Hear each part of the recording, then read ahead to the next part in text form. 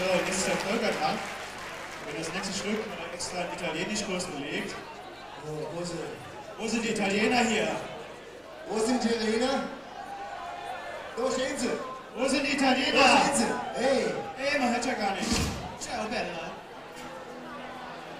Wir haben uns extra ein ganz tolles Stück rausgesucht. Von dem Eros Ramazzotti.